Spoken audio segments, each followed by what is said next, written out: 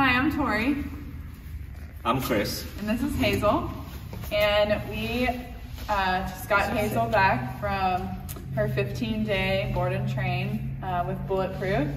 And we're really excited uh, to take her home and continue her training. We're really impressed with everything she learned, and